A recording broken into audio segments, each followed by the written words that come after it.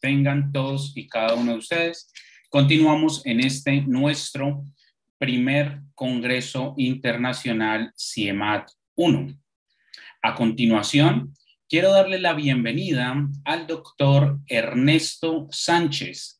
Doctor eh, Ernesto es profesor en el Centro de Investigación eh, y Estudios Avanzados, el CIMBESTAT de México matemático por la Facultad de Ciencias de la UNAM. Tiene maestría y doctorado en matemática educativa por el CIMBESTAP. Hizo su postdoctorado en Estrasburgo, Francia, y dos estancias sabáticas, una en Portland, eh, Estados Unidos, y otra en Granada, España. Desde hace 35 años es profesor e investigador del Departamento de Matemática Educativa del CIMBESTAP. Ha sido investigador asociado y editor en revistas de gran peso en el eh, ámbito de la educación matemática. Actualmente es editor en jefe de la revista Educación Matemática.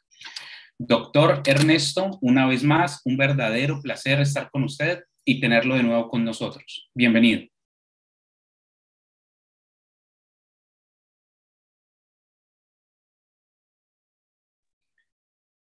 Mm. ¿Tienes el micrófono silenciado, doctor Ernesto?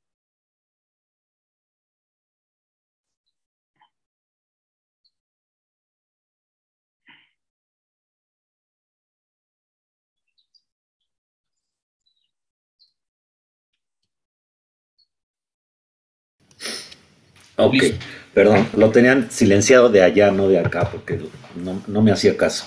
Ah, ok. bueno, señor. Bienvenido, doctor Ernesto, un verdadero placer.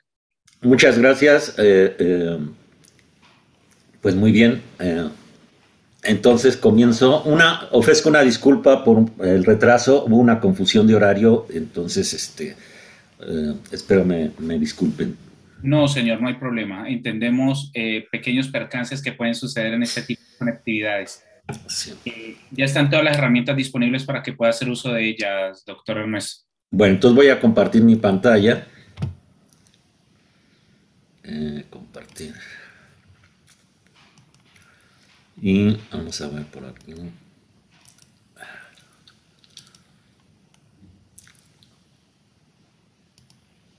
Sí, se alcanza a ver ya.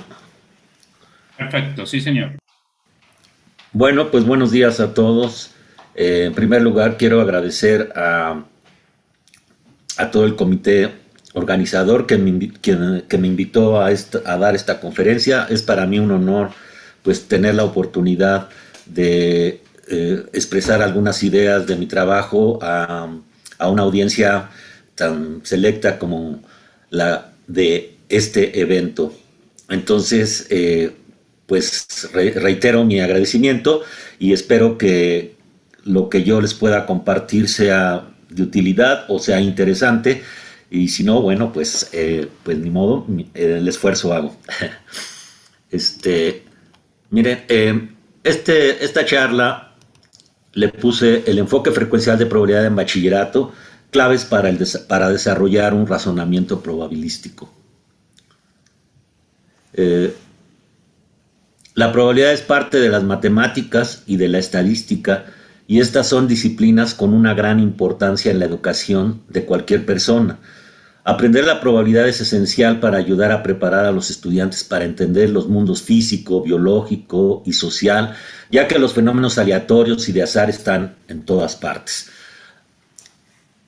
Por lo anterior, para maestros que enseñan probabilidad estadística, es importante contar con algunas claves generales de cómo desarrollar el razonamiento probabilístico de los estudiantes.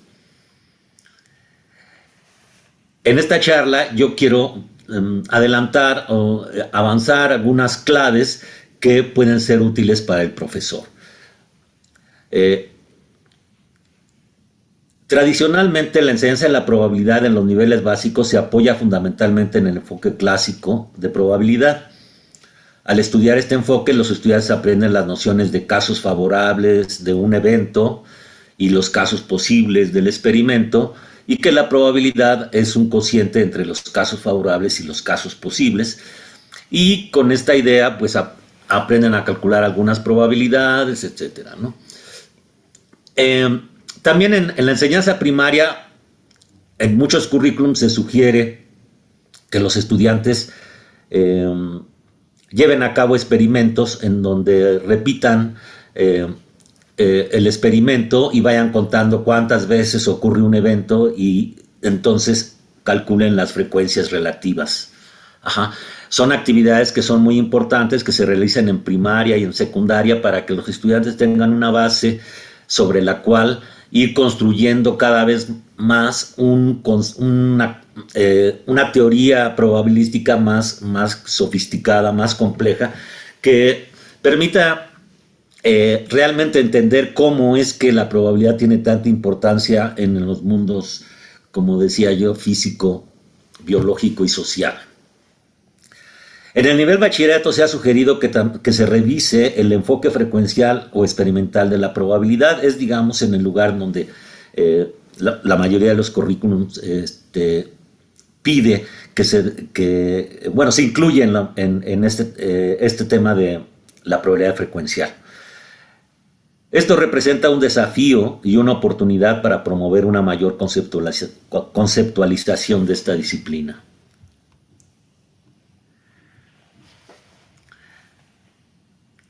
El enfoque frecuencial, digamos, eh, se puede decir desde el enfoque de von Mises que los conceptos principales son los siguientes. Dice, los, los objetos básicos de la prioridad son los colectivos. Un colectivo es una sucesión infinita de eventos en los que no hay ningún sistema que permita prever el evento que sigue a partir de un evento dado o de, un, de una parte de la sucesión, no sabemos qué, cuál es lo que va el evento que va a venir. Y un, aspecto muy importante de la teoría de von es el teorema de existencia y unicidad. Es decir, que cualquier evento tiene asociado un número entre 0 y 1, que es su probabilidad. Esta idea es una idea teórica bastante difícil de entender, porque si nosotros pensamos en, en, porque hay, hay, unas, hay detrás unas cuestiones filosóficas ¿no? importantes, o sea, la probabilidad existe, digamos, de los eventos como si estuvieran ahí grabadas en la cueva de Platón, digamos, de antemano, a priori puede, podemos decir que, un, que hay un número asociado a un evento en la realidad, o es una construcción que los hombres realizamos, digamos, y que, este, y que postulamos, digamos, que existe, pero pues no hay nada que nos asegure que existe detrás de los eventos un número al cual convergen las frecuencias relativas, etc. Entonces, eh, este, esta idea o esta discusión filosófica es importante en la medida en que eh, nos, hace nos hace ver que a veces a los estudiantes les queremos hacer eh, creer cosas que no son tan fáciles de creer. Ajá. Por ejemplo, si yo, si yo pienso en el día de hoy, en, aquí en mi, eh, este, en mi región, y pienso cuál es la probabilidad de que llueva hoy, uno piensa, hay un número por ahí escondido que, que sea exactamente la probabilidad, o es algo realmente pues que no existe, pero que yo lo postulo y que a partir de eso trato de llegar a él. No nos vamos a meter con esta discusión, nada más lo que yo quería enfatizar es que esta idea de que la probabilidad existe, dado un evento existe una probabilidad a la cual uno se aproxima, es una idea muy complicada y no es para nada una idea práctica como a veces se cree, se piensa. Bueno, y el concepto de frecuencias relativas. Entonces, eh, pero digamos, para modelar eh, la idea de, de von Mises eh, ya en la enseñanza, eh, este, se ha construido una manera teórica de hacerlo y que, eh, eh, aunque hay muchos conceptos que están alrededor del enfoque frecuencial de probabilidad, podemos distinguir estos tres como fundamentales, experiencia aleatoria, frecuencia relativa y probabilidad. El concepto de experiencia aleatoria es particularmente importante como concepto teórico de la probabilidad. Y, se deriva de la idea de, de, von Mises. Una experiencia aleatoria es un fenómeno que satisface tres condiciones. Uno, que es repetible, es decir, se puede repetir bajo un conjunto de condiciones dadas.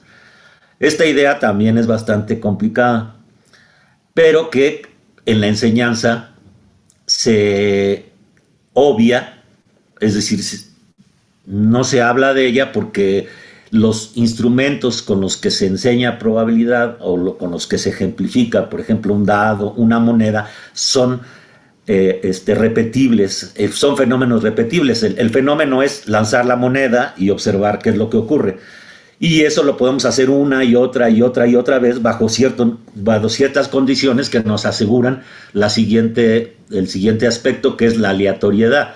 Es decir, que no se puede predecir el, resultado una vez que, este, bueno, antes de hacer el experimento, es decir, antes de lanzar la moneda, no podemos saber qué es lo que va a ocurrir, este, cara o cruz, o no podemos, este, al lanzar un dado, no, sabemos qué número va a ocurrir, entonces esa es la aleatoriedad. Y la siguiente característica de una, de una experiencia aleatoria es el espacio muestral. Eh, el espacio muestral es que el conjunto de todos los posibles resultados. Es interesante que estas tres características eh, generalmente no se enfatizan, y, pero los estudiantes se hacen ideas de experiencias de fenómenos aleatorios muy vagos que no, que no corresponden a, que no, o que no tienen estas tres propiedades. Más adelante vamos a ver una cuestión. Pero a partir de esta idea de experiencia aleatoria viene la noción de frecuencia relativa, que es eh, eh, un evento es el, cociente de las veces que ocurre el evento entre el número de las veces que se repite el experimento y la noción de probabilidad que es eh, las frecuencias relativas, digamos, tienden a, a estabilizarse y la probabilidad es el, valor al que tienden a estabilizarse. Todas estas ideas son teóricas y se representan mediante este, este diagrama en el cual cada punto es una frecuencia relativa de un, evento y, este, y se ve cómo las frecuencias relativas eh, van, eh, conforme se van repitiendo los experimentos, se van acercando a un número constante, que en este caso es la línea, la línea azul, si es que se distinguen los colores desde allá, y la, eh, como se ve los puntos que representan frecuencias relativas y que representan experiencias repetidas, eh, se van acercando hacia esa, constante. La variabilidad es muy grande al principio y la variabilidad es poca al, cuando son demasiados experimentos. Bueno, sobre estas ideas en general, voy a dos propongo, propongo las siguientes claves para el bachillerato, para la enseñanza de la probabilidad en el bachillerato, es decir, para los maestros. Clave 1. Debemos de conocer o tener hipótesis sobre cómo razonan los estudiantes. Eh, esta reflexión es muy importante y es importante también con tener hipótesis sobre cómo razonan y cómo piensan y no siempre piensan como uno quisiera, ¿verdad? Eso está muy demostrado dentro de los estudios de didáctica, de que los estudiantes crean ideas, conceptos, a veces alejadas de lo, de lo que uno quisiera. Por eso es importante conocerlas. Clave 2, utilizar la tecnología, en particular técnicas de simulación. Por ejemplo, esta, esta gráfica que, les presenté es, es una gráfica hecha con tecnología. Digamos, se puede eh, hacerla con, a lápiz y papel, con experimentos reales, sería algo que consumiría muchísimo tiempo, un poco tediosa o mucho tediosa, y bueno, realmente no lo haríamos en clase. La clave 3 es desarrollar la componente teórica, es decir, los conceptos básicos. Finalmente, eh, la clave 4 es enfatizar en la ley de los grandes números. La ley de los grandes números otra vez es esta. La ley de los grandes números nos dice que, este, que las frecuencias relativas,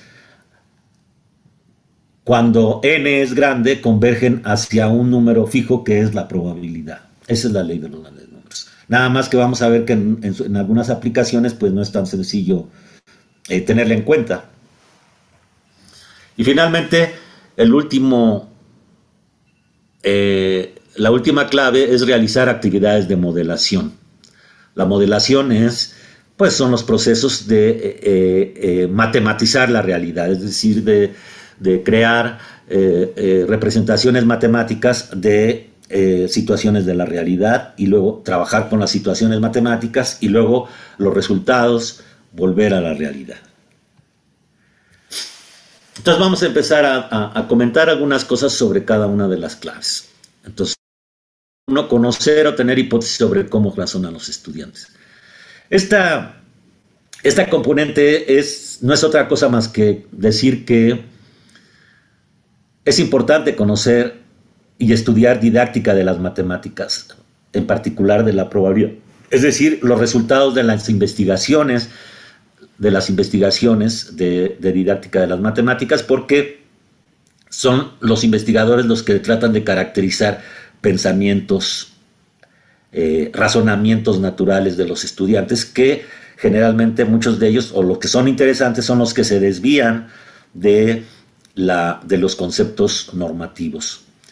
En la literatura pues hay información sobre sesgos de razonamiento, se llaman sesgos de razonamiento aquellos que son desviaciones, digamos, de razonamientos correctos, pero que en un, en un momento dado ya no aplican adecuadamente, y de falsas concepciones de la probabilidad. Por ejemplo, son muy conocidas las heurísticas de representatividad y disponibilidad que descubrieron Kahneman y Tversky en los años 80. Estas heurísticas son maneras en que las personas evalúan la probabilidad eh, aparentemente, digamos, con criterios aparentemente adecuados, pero que, este, eh, que solamente, solamente eh, aplican hacia un conjunto limitado de situaciones, pero saliéndose de esas, de esas este, situaciones, pues ya no aplican, ¿no? La representatividad es cuando se evalúa que un evento es muy probable porque es semejante al, al, o al espacio muestral o al proceso que lo genera. ¿no? Así, por ejemplo, nosotros pensamos que una, una secuencia de, eh, de, cuatro lanzamientos águila, sol, sol, águila, es más representativa, digamos, de, de, del experimento aleatorio que, la, que el resultado águila, águila, águila, águila, o, bueno, cara, cara, cara, cara, o sea, una sola moneda cuatro veces, una sola cara de la moneda cuatro veces no nos parece representativo. Y entonces decimos que es más, eh, que es más probable que ocurra una, un, evento como cara, cruz, bueno, eh, bueno, lo voy a decir en términos de, de, cómo llamamos las monedas en México, que es águila por un lado y sol por el otro. Entonces, este, vemos como más representativo águila, sol, sol, águila, que águila, águila, águila, águila, ¿no? ¿Por qué? Porque el, primero se parece más al azar, se parece más al, al, proceso que le da origen que el último. Y sin embargo, formalmente tienen la misma probabilidad. La disponibilidad pues son, es, también muy conocida. Es a veces evaluamos, evaluamos eventos de acuerdo a cómo podemos construir en nuestra mente ejemplos o cómo podemos recordar eventos que, este, que hayan ocurrido con esa situación. Por ejemplo, yo, eh, eh, aquí en México hay dos carreteras, digamos, bueno, hay muchas carreteras, pero digamos, hay una carretera muy conocida que es la de Toluca y otra la de Cuernavaca, y uno le puede decir, eh, ¿cuál, cuál este, en cuál es más probable que haya un accidente, en cuál de las dos carreteras. Y entonces yo recuerdo que de las veces que he ido a Toluca, recuerdo dos o tres accidentes catastróficos y yo digo, no, pues la carretera a Toluca es la más, este, la más, donde es más probable que haya un accidente. Y sin embargo, eh, las estadísticas pueden decir lo contrario o que son exactamente lo mismo. El sesgo está en que yo eh, en que me baso en mis recuerdos o en mi disponibilidad de ejemplos para hacerlo. El enfoque del resultado aislado es otro descubrimiento muy importante que, que es como que es difícil de entender, pero que es muy eh, este, común en los estudiantes y es que consiste en creer que para que la probabilidad lo que nos dice es algo acerca de lo que va a ocurrir en el siguiente resultado. Eh, este, es decir, es una idea como determinística. En, probabilidad no se sabe lo que va a pasar a corto plazo, es decir, no se sabe lo que va a pasar en el siguiente eh, evento. Y este, pero las personas creen que si nos dicen que algo tiene 80% de probabilidad de ocurrir, es porque va a ocurrir. Es decir, si yo digo, si, si escuchamos en las noticias que dice hay 80% de lluvia, uno piensa, ah, bueno, pues va a llover lo cual no está tan, tan descabellado, pero hay un 20% de que no llueva. Si no llueve, entonces los que, eh, los que tienen la mentalidad del enfoque hacia el resultado del lado dicen es que la, probabilidad se equivocó. O sea, eh, este, y no es cierto, la probabilidad que se dio fue de 80 de lluvia, pero pues eso es 20 de no lluvia. 20% no es poca probabilidad. Entonces, de que ocurra un, un evento con 20% de probabilidad es algo digamos, dentro de lo normal. Entonces, este, esos son los sesgos que, que, ve el enfoque de resultado. Y luego otro, otro sesgo muy común es el sesgo de equiprobabilidad, que a veces en la, en la idea de modelar, para modelar una situación, a veces se cree que, eh, que necesariamente los eventos que uno eh, distingue deben ser equiprobables, lo cual pues no, no es así, ¿no? O sea, como al lanzar una moneda, el resultado, eh, los dos resultados son equiprobables, como al lanzar un dado, los, seis resultados son equiprobables, se puede pensar que, eh, que todas las situaciones así son, pero no. Eh, por ejemplo, la habilidad de un jugador de básquetbol para lanzar una, para encestar en un tiro libre, pues si es un jugador, digamos, de las eh, de las eh, ligas mayores, no se dice en ligas mayores, no recuerdo cómo se dice en básquetbol, pero bueno, de los profesionales. Entonces, este, la probabilidad pues, debe ser punto noventa y tantos, 95, 97, o sea, tiene prácticamente casi no fallan. Y no se puede decir que, eh, y el espacio muestra nada más es falla o no falla, y no se puede decir que la probabilidad es un medio. Bien. Pero también nos hace falta conocer o tener hipótesis sobre cómo razonan los estudiantes en, algunos en otros aspectos. Por ejemplo, en el problema de la existencia y unicidad de la probabilidad. Es decir, que dado una experiencia aleatoria de un evento, esta tiene una única probabilidad. Este, esta situación la plantean en un estudio Connell y, como otros cinco o seis investigadores más muy conocidos, todos ellos, entre los que están, digamos, este, Fankush, me parece, están varios.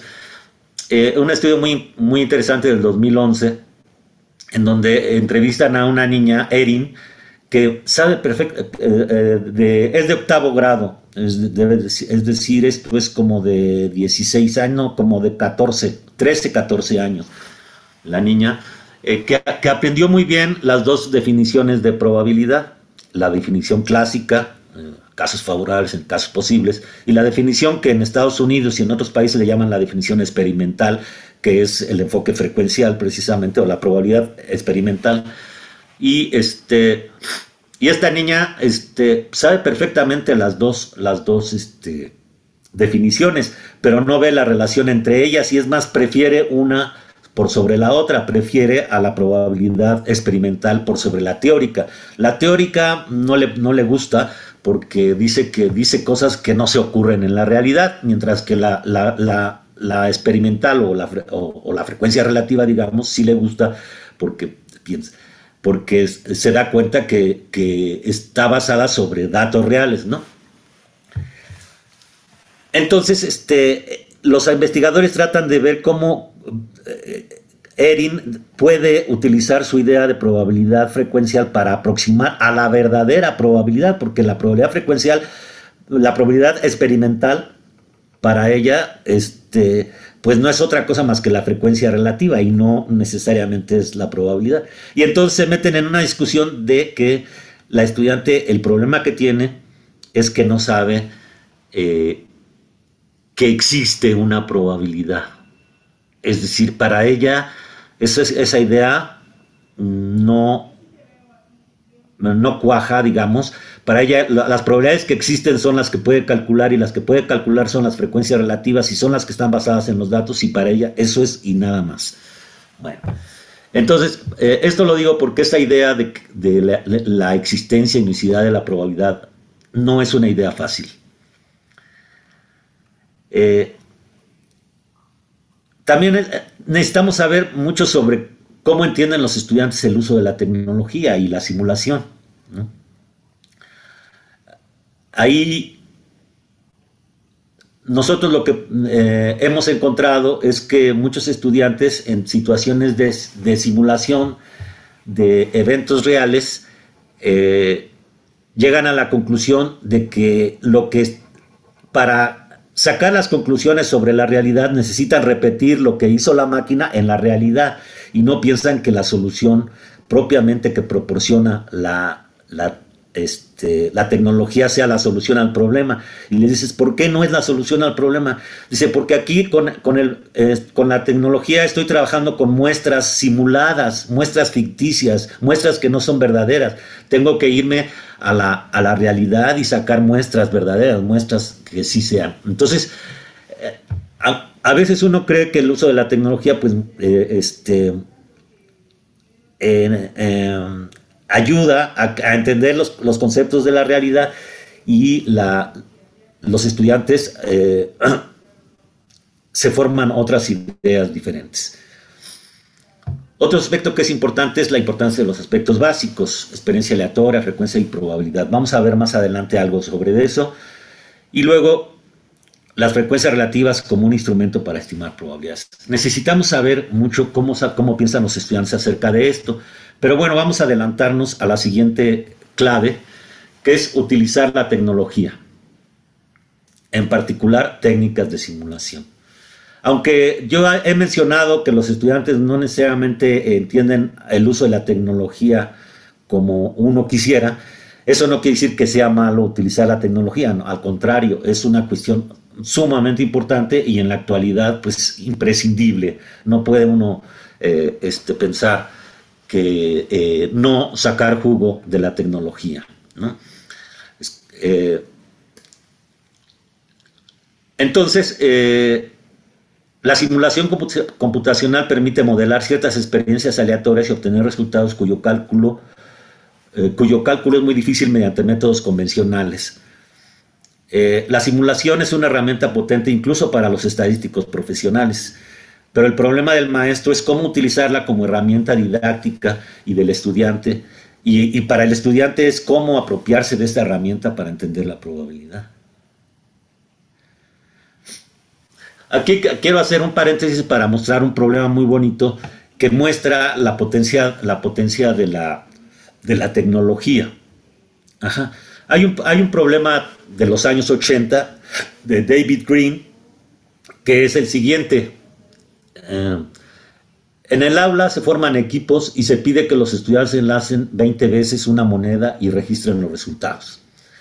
las siguientes secuencias son la solución a la tarea de dos equipos. El equipo A presenta esa secuencia como resultado de su experimento y el equipo B presenta esta secuencia como resultado del experimento donde ese es cara de una moneda, eh, este, sol, en México le llamamos a, una, a, la cara de una moneda sol, y la otra es águila, la, es águila que es la, la, otra cara de la moneda. Sol y águila son las caras de una moneda en México.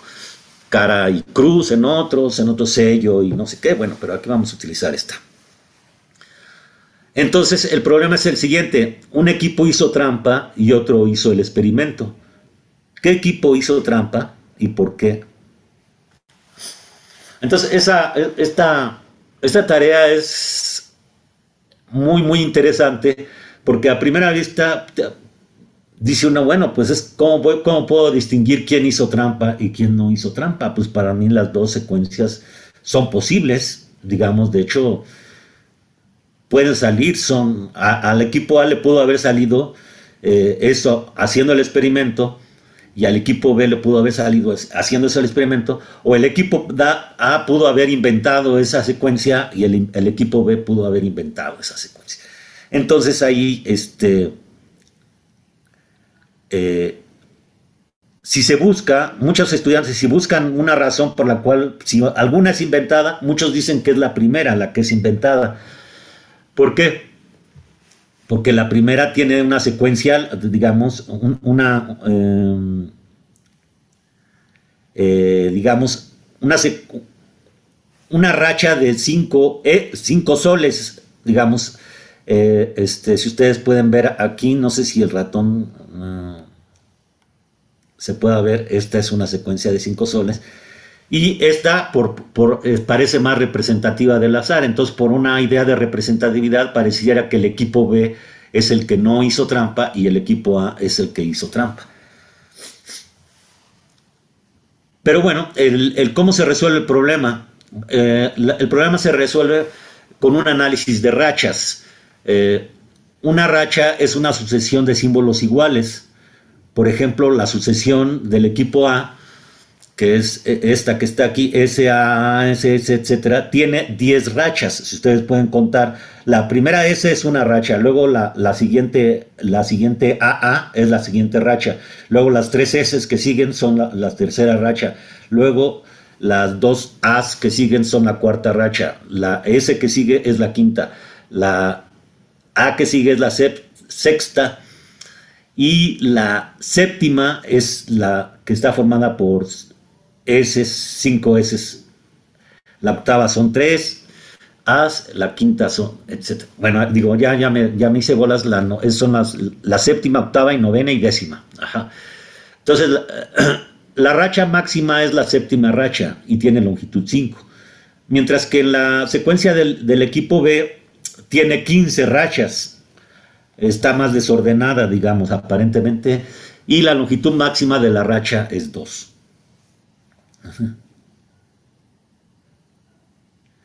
Entonces, el, problema es que eh, se pueden definir dos variables aleatorias para el espacio muestral formado por todas las posibles rachas de tamaño 20 de dos caracteres, en este caso sol y águila. ustedes saben que eso es una combinatoria bastante complicada. Eh, hay dos a la 10 posibles elementos del espacio muestral y 2 a la 10 es un, un, número pues más o menos bastante grande.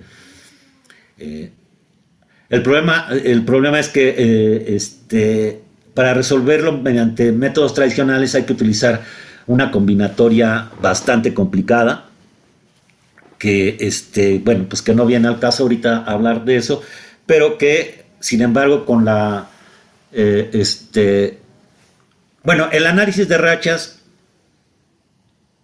consiste en saber si las secuencias, aleatorias de tamaño 20 tienen secuencias más largas o más cortas o cómo, o cómo está la distribución de las secuencias. Entonces, para eso, para resolver ese problema, eh, se definen, digamos, dos variables aleatorias. Una, el número de rachas de la secuencia y dos, la longitud de la racha máxima. Y se trata de buscar cuál es la distribución de probabilidad de cada una de estas secuencias, digo, de estas variables. Como decía, los cálculos para construir esta distribución son muy complicados, pero con un programa informático se determinan con mucha facilidad. Si ya conoce uno el, programa Fathom, por ejemplo, en menos de cinco minutos resuelve uno el problema. En menos de, uno, de cinco minutos genera uno las distribuciones eh, muestrales. Eh, ambas distribuciones son las siguientes. Esta es la distribución del número de cadenas o, rachas, el número de rachas, perdón, aquí rachas y cadenas, pero acá decía cadenas, pero son rachas, es lo mismo. El número de rachas de la secuencia son, e, es esta la distribución. ¿Qué quiere decir? Que de todas las rachas, digo, de todas las secuencias posibles, ¿verdad? Hay muy poquitas que tienen una sola racha. ¿Cuál? Pues a saber la de, bueno, tres, tres rachas. Son muy poquitas las que, eh, eh, muy poquitas las que tienen cuatro, muy poquitas ya empiezan a crecer las que tienen cinco rachas, seis rachas, etc. Pero el máximo lo alcanza en diez. Y entonces, fíjense, el problema es que nosotros tenemos dos, dos secuencias, una con 10 rachas y otra con 15 rachas. quiere decir que una pertenece a este conjunto, que es el más probable, lo cual quiere decir que es una racha muy posible, y la otra pertenece a, a este conjunto de, de, rachas que son muy poquitas, lo cual quiere decir que es una racha muy poco probable. Digo, una racha, una secuencia muy poco probable. Entonces, lo que parecía este, como dos secuencias posibles, sí lo son, las dos son posibles, pero una es muy probable y la otra es muy poco probable. Y con el análisis de la, de la longitud de la racha máxima pasa algo similar. Algo similar. Eh, de entre todas las secuencias de tamaño 20, las, eh, este, hay muchas, la mayoría, digamos, no, no es la mayoría, pero la moda tiene rachas de tamaño 4. Es la más popular. Es, es, popular también rachas de, tamaño 3, el máximo de las rachas, quiero decir, la máxima cadena, y, y, rachas de tamaño 5. En cambio de 6, de 7 ya van disminuyendo. Vamos a ver, con, con relación a nuestro problema, la primera racha tiene, la primera secuencia tiene como máximo, como máximo 5. Es decir, este número aquí está, es bastante popular, 5. Mientras que la otra tiene máximo 2. Es decir, es, es, es decir, ni aparece aquí, fíjense, ni aparece en la distribución.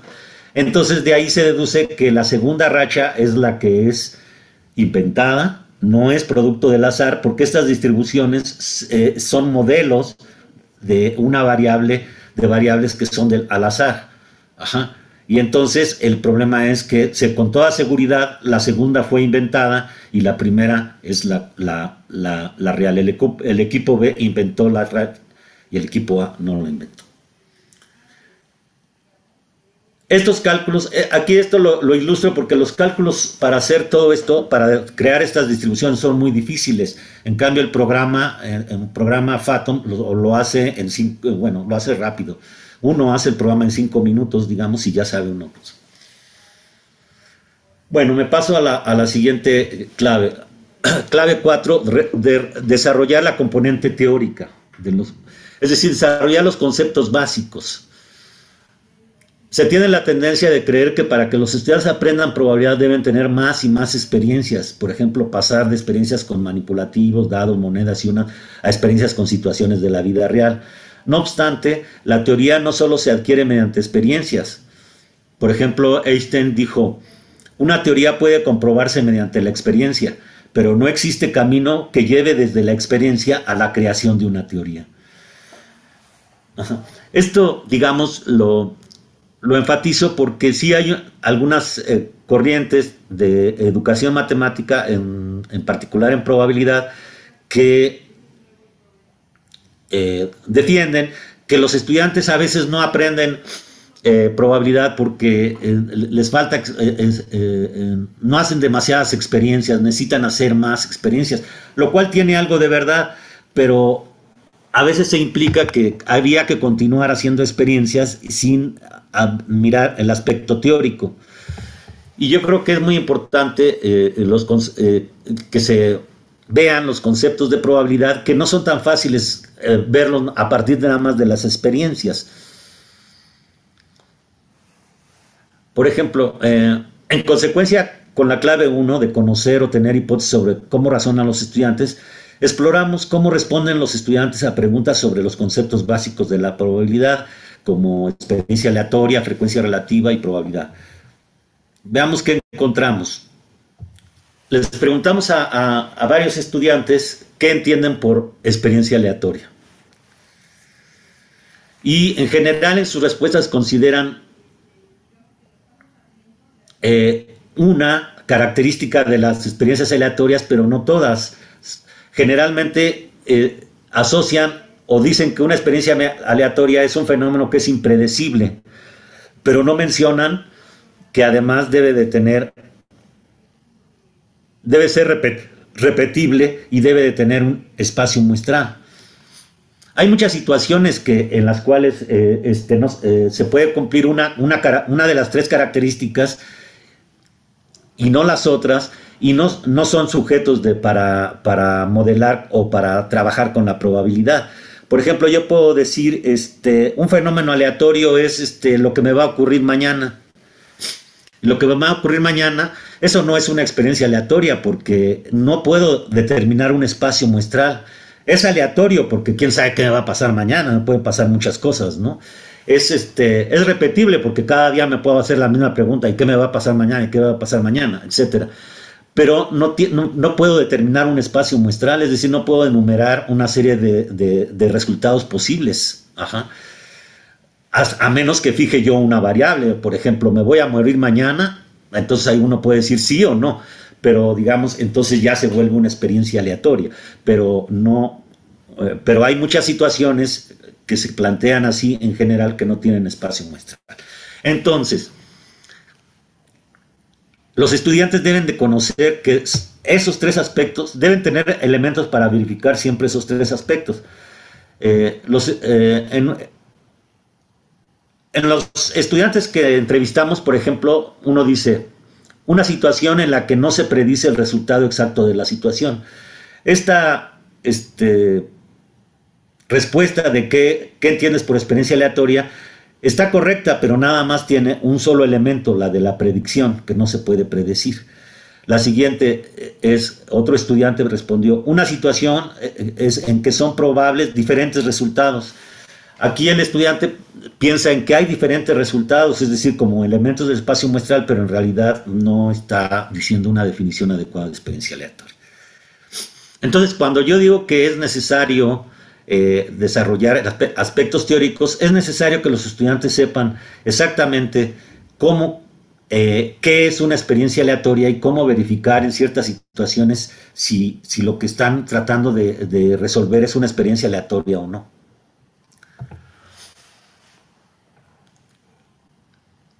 También la frecuencia relativa es muy importante. Eh, muchos estudiantes tampoco eh, diferencian entre frecuencia relativa y probabilidad, para ellos es lo mismo. Y sobre todo en, los países en donde le llaman a la frecuencia relativa, le llaman probabilidad experimental, pues con mayor razón hay una confusión, porque ya le están llamando probabilidad. Aquí en, México, por ejemplo, no, no utilizamos el, los el, término de probabilidad experimental, sino el de, frecuencia relativa. Entonces preguntamos a los estudiantes, ¿qué entiendes por frecuencia relativa? Y algunos dicen, es el número de veces que puede ocurrir un evento, es la suma de porcentaje de probabilidad de distintos eventos relacionados entre sí, y es una serie de hechos que se repiten constantemente. En, estos, casos, fíjense cómo ninguna, ninguna de, las, de las respuestas es, es clara acerca de qué es la frecuencia relativa. En la primera dan la frecuencia absoluta, es la más acertada, por decirlo así, y sin embargo está mal porque no es frecuencia relativa, es frecuencia absoluta.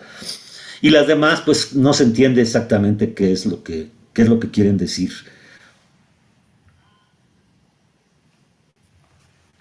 Y finalmente, ¿qué entiendes por probabilidad? Eh, los estudiantes, aunque sepan calcular una probabilidad, no saben expresar qué quiere decir, qué quiere decir y generalmente la, la digamos, este, dan respuestas circulares utilizando la palabra posibilidad. ¿Qué es la probabilidad? Pues una posibilidad. Por ejemplo, así, eh, posibilidad que existe de que una cosa se cumpla o suceda al azar la posibilidad de que existe, lo, de que ocurra un suceso, alguna posibilidad de que ocurra un evento aleatorio dentro de una muestra aleatoria. Entonces, en una, una, una mm, pregunta provocativa, bueno, ¿qué es la probabilidad para nosotros, para un profesor, o qué, qué es la probabilidad para un investigador? Y se debe de uno saber qué es lo que esperaría que un estudiante supiera de qué es la probabilidad, un estudiante de bachillerato. Y yo digo que aunque el estudiante sepa que una probabilidad es un número que está asociado a con qué frecuencia ocurre un, o que nos dice algo acerca de la frecuencia con la que ocurre un experimento, ya es una buena, un evento, perdón, ya es una buena eh, este, definición de probabilidad. aunque no sea formal. Otro que diga, por ejemplo, una probabilidad es un número que es el, resultado de eh, casos favorables entre casos posibles, también es una buena respuesta. Sin embargo, como ustedes ven, no, no, hacen los estudiantes esa, eh, ese tipo de respuestas. La clave número 5, enfatizar en la ley de los grandes números. Eh, esta, la ley de los grandes números, es una de las ideas centrales de la probabilidad y es, digamos, de algún modo una versión eh, instituida en teorema del enfoque frecuencial de probabilidad. Eh, eh, es decir, es este mismo esquema. La ley, de los grandes números es lo que dice este esquema, que es que las frecuencias relativas cada vez van convergiendo más alrededor de un número fijo y que ese número fijo va a ser la probabilidad. Y eh, este, aquí en este, en este esquema se representan bien las propiedades que tienen. Por ejemplo, las frecuencias relativas varían significativamente al comienzo, es decir, son, son muy variables. pero sin embargo, la variabilidad va disminuyendo conforme el número de repeticiones del experimento es, es grande. Todo esto tiene su contraparte en matemática precisa, dando cotas, épsilons y deltas y cosas así que, eh, este, con los cuales uno tiene que contender ya en los, en los cursos avanzados de probabilidad para, eh, digamos, la, ley de los, de los, grandes números es eh, ya formal, pues este, utiliza eh, la simbología matemática, pero en esencia toda esa simbología matemática encierra lo que ya está aquí en este, en este diagrama.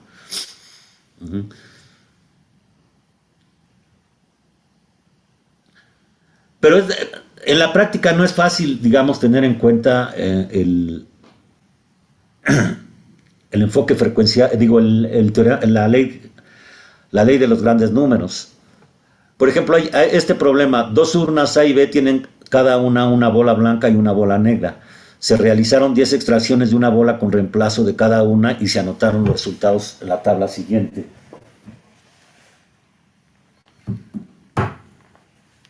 Entonces, eh, se pregunta a los estudiantes, eh, si vas a sacar una onceava bola, ¿cuál elegirías? Justifica tu respuesta.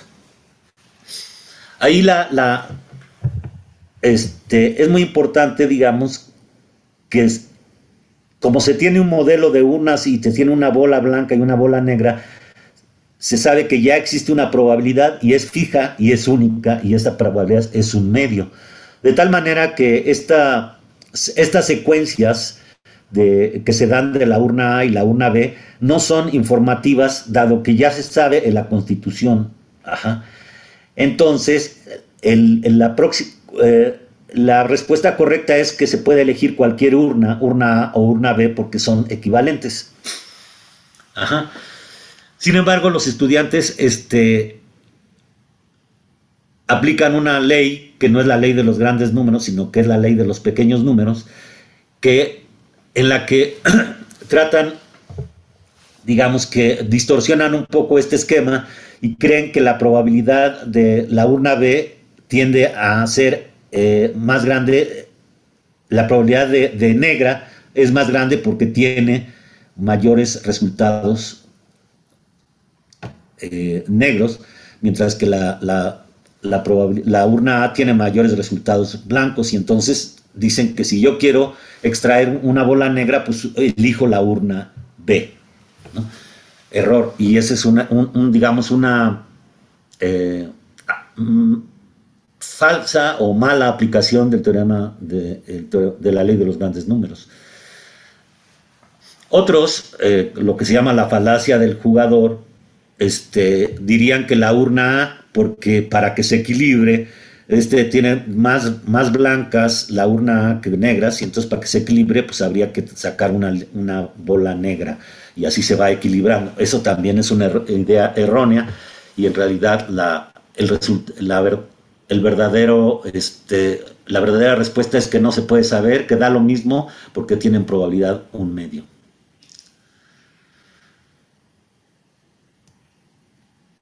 Clave 6. Realizar actividades de modelación. La modelación es representar matemáticamente situaciones reales con el objeto de operar las representaciones matemáticamente e interpretar los resultados en términos de la situación real. Ajá, es un, esquema muy clásico de que se tiene el mundo de las matemáticas, el mundo de la realidad y digamos de alguna manera el, este, la modelación es llevar el mundo de la realidad al mundo de las matemáticas, trabajar en el mundo de las matemáticas y luego los resultados llevarlos al mundo de la realidad. Esa es la modelación. Es muy importante que los estudiantes aprendan a modelar. Pero a veces eh, eh, se piensa que modelar es, digamos, penetrar problemas muy complicados de la realidad. Eh, este, y bueno, y resolverlos. Por ejemplo, este, Fankuch en un artículo de 2014, ella habla sobre la disposición de, camas en un hospital, digamos, y hacer un modelo probabilístico sobre la probabilidad de que haya este, ocupación o no ocupación de las camas en un hospital, etc. Entonces son situaciones bastante complicadas, ¿no? Ahorita vamos a ver un caso también interesante que, no, que es complicado, pero en realidad la modelación en la enseñanza puede ser algo más sencillo eh, en sentido, digamos, de que eh, eh, de que uno pregunte cosas que tienen que ver con el modelo teórico de cómo adaptan los, cómo pueden adaptar los estudiantes situaciones a un modelo teórico. Y en ese sentido, digamos, poner situaciones a los estudiantes y preguntarles sobre si un ejemplo de un fenómeno aleatorio y preguntarle en qué sentido es repetible la experiencia. Que acuérdense que la, repetibilidad es uno de los rasgos del, experimento aleatorio. Dos, los resultados son impredecibles, es decir, se cumple la segunda característica de, la experiencia aleatoria. Y tres, ¿cuál es el espacio muestral si se cumple la tercera característica del espacio muestral. Luego, existe un número que es la probabilidad del evento. Ese tipo de preguntas pueden ayudar a modelar, digamos, este, a los estudiantes situaciones. Por ejemplo, eh, se va a elegir una estudiante del colegio, un estudiante o una estudiante del colegio, y se pregunta a uno si acreditó matemáticas. Entonces uno pregunta, ¿esa es una experiencia aleatoria? Entonces uno tiene que, eh, el estudiante tiene que decir, bueno, ¿en qué sentido es repetible? Por ejemplo, bueno, pues es repetible porque yo siempre puedo hacer, elegir otro estudiante y elegir otro, es decir, eso lo puedo estar repitiendo muchas veces. Eh, los resultados son impredecibles, es decir, es impredecible si el estudiante acredita o no matemáticas, pues un poco, digamos, eh, pues no es seguro, ¿verdad? Que el que elija uno este, haya acreditado o no. Y entonces sí tiene algo de impredecibilidad. ¿Y cuál es el espacio muestral? Pues simplemente que es este, acredita o no acredita. Luego, existe un número que es la probabilidad del evento y entonces ya utilizar la, definición clásica o la definición frecuencial pues para, para aproximar. Pero pasar por los dos por las preguntas eh, teóricas, digamos, o de los conceptos básicos es muy importante. Otro, por ejemplo, otra, otra, otro modelo que es bastante, diferente y que les cuesta mucho trabajo es, se le pregunta a un estudiante que piense un número y lo diga. Entonces el evento es que responda a un número entre 3, entre 3 y 10. Este, este problema digamos, se puede modelar muy fácilmente pensando, número uno, eh, eh, ¿en qué sentido es repetible la experiencia? Aquí la experiencia no es repetible en términos, digamos, de que uno le puede repetir a una sola persona la pregunta muchas veces, sino más bien que eh, yo puedo hacer la pregunta a muchas personas y cada vez, digamos, cada, cada persona distinta es una repetición del experimento. ¿Por qué? Porque cada persona distinta pues, tiene ciertas tendencias cognitivas y va a decir un número, ah, digamos, de acuerdo a su, a su manera de, pensar, ¿no? Por ejemplo, en una experiencia en donde hicimos algo este, eh, como esto, eh, con profesores, los profesores les este, pusieron una situación con los estudiantes para que fuera natural que dieran, que pensaran un número así al azar, y encontramos que los números más, más frecuentes, en primer lugar, la mayoría de los, todos, casi, todos en absoluto dieron respuesta de números enteros. Ese no es un requisito del problema, pero, este, pero así lo hicieron. En segundo lugar, hubo una mayoría que, respondió con números enteros menores que 10. digamos, un 30% respondió con números enteros menores que 10. Luego hubo un número también grande de personas que respondieron con números enteros menores que 31.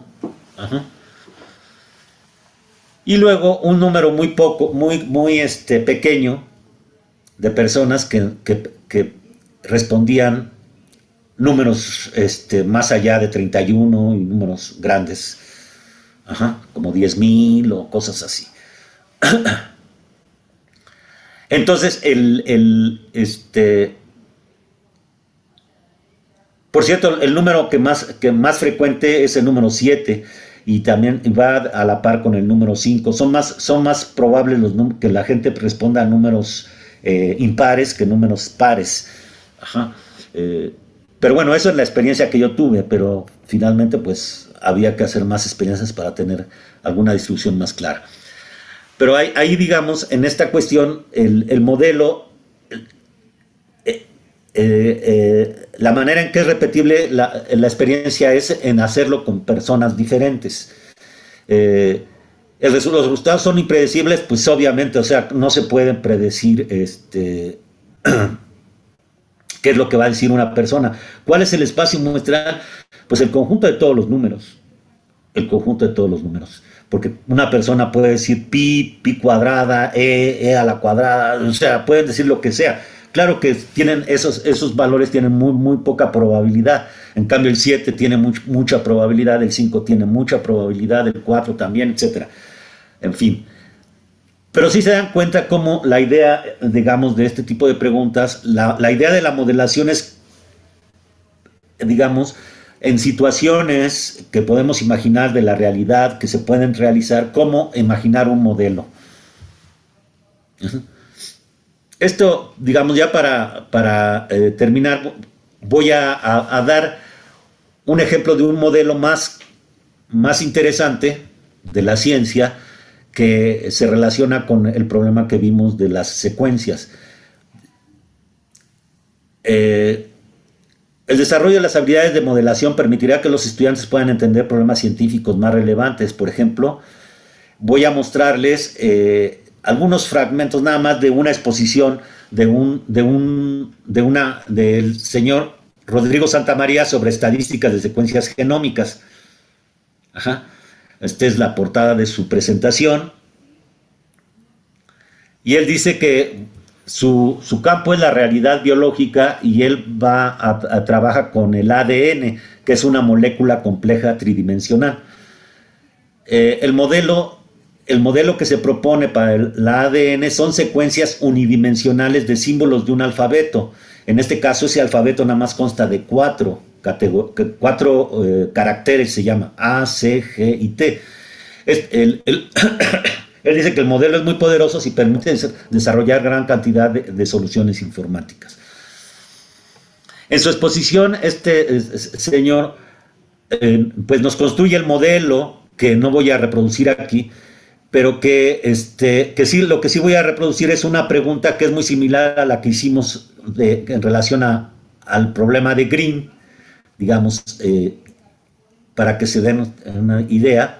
¿Dónde está el, de Green? Ya, ya, lo perdí por aquí. Ahí está, eh, era este, ¿no?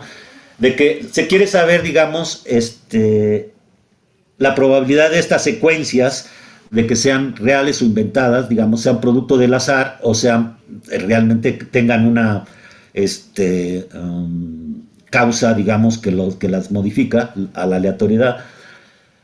Así, en el problema que estamos viendo, este, el autor se pregunta cuál de estas dos secuencias sería más probable que se correspondiera con, la, con el H influenciae, o sea, un tipo de, secuencias genómicas, que tiene que ver con alguna enfermedad, etcétera, etcétera. y según cada modelo presenta ciertos modelos y este y entonces resulta con que esta pregunta es muy similar a la pregunta que hicimos nosotros de los volados, pero esta ya es un modelo, ya está basada, digamos, en un modelo de la realidad, de, de, las secuencias genómicas.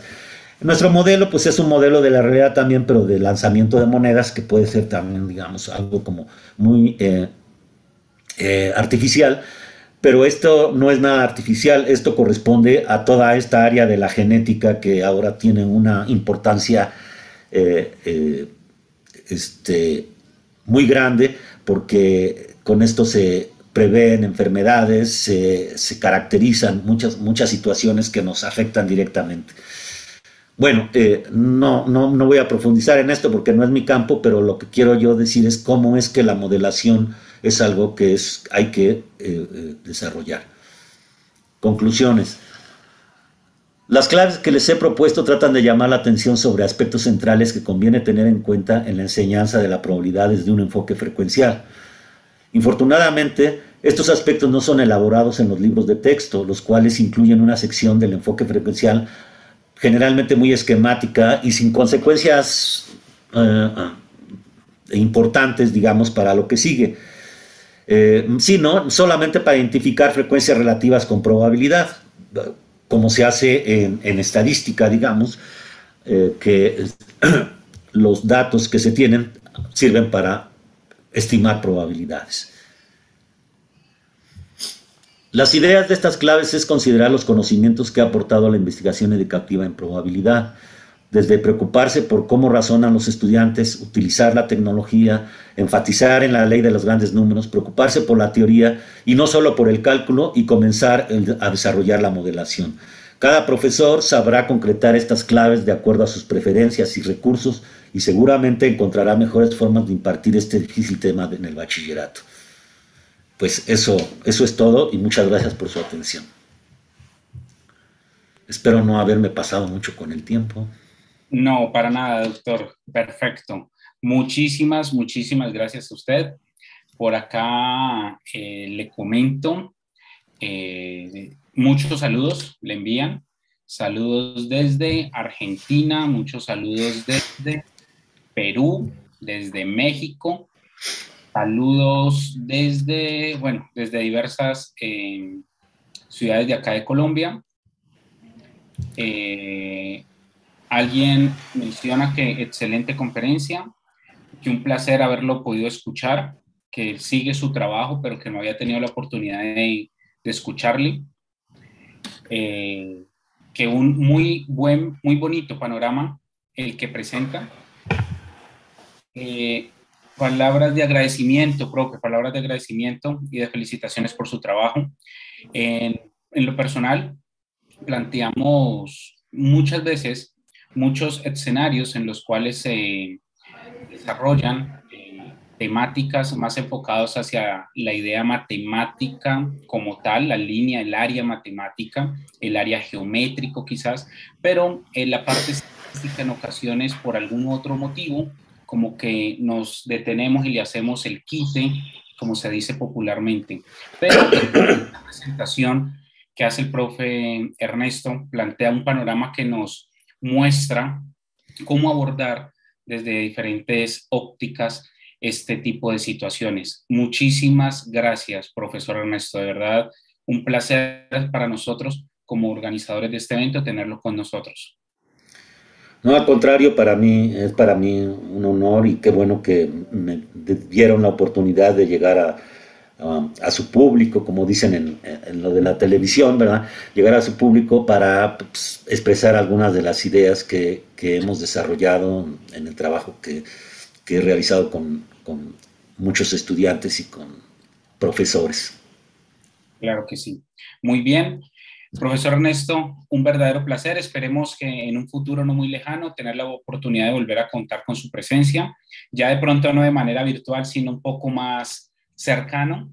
Eh, ya veremos qué nos depara eh, toda esta situación y este eh, proceso que estamos viviendo eh, no solamente en el ámbito de la salud, sino también en el ámbito educativo. Muchas gracias, doctor Ernesto. Un placer. De nada, igualmente para mí un placer conectar con ustedes. Gracias. A todos nuestros invitados eh, y asistentes, les continuamos, eh, les extendemos la invitación que a partir de las 2 de la tarde continúen con nosotros en la transmisión por nuestro canal de YouTube, donde continuaremos con nuestro eh, evento. En particular, en punto de las 2 de la tarde tendremos a nuestro expositor eh, Aníbal Sosa y Luis Miguel Solarte de la Universidad ICESI, comentándonos acerca de experiencias con el uso de cuadernos Júpiter para la enseñanza de las matemáticas en curso de ciencia e ingeniería en la Universidad ICESI. Muchas gracias por su atención